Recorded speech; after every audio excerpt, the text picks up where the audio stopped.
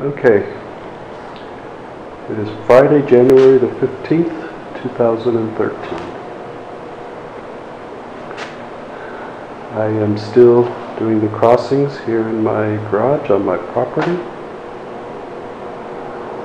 because I am, as of yet, unable to travel to the normal locations. That's why we're doing the crossing here.